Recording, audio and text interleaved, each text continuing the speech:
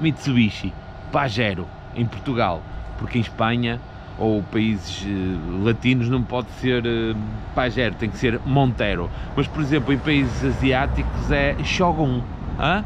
Mas para já, aqui em Portugal é Pajero e assim vai continuar. Na versão V20, mais conhecido como Abas Largas, este veio aqui à Monster para umas pequenas, uh, alter... não, não é bem alterações, um, umas um, melhorias no que respeita à proteção do carro.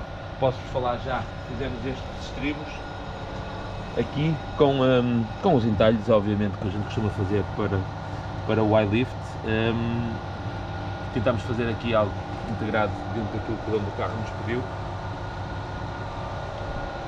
Da parte da frente,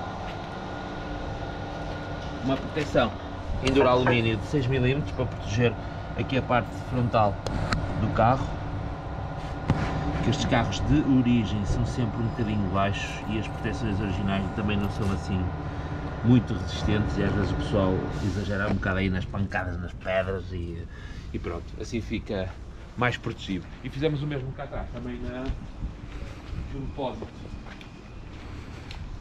Um tipo de proteção em alumínio de 6mm, foi lacada de preto a pedido do dono do carro fazendo com que este Mitsubishi Pajero V20 de abas largas fique muito mais capaz para levar com umas padradas por baixo, que é isso que eles gostam e é por isso que eles são feitos. Os todo-terrenos são todo-terrenos, mesmo por causa disso, para andar fora de estrada e andar em estrada. E andar fora de estrada, o pessoal poder andar um bocado mais descansado, puder dar umas sapadelas nas pedras à maneira.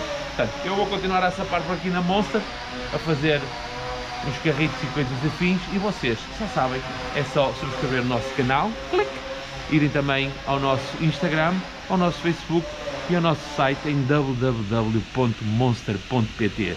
Saúde, portem-se bem e até ao próximo vídeo.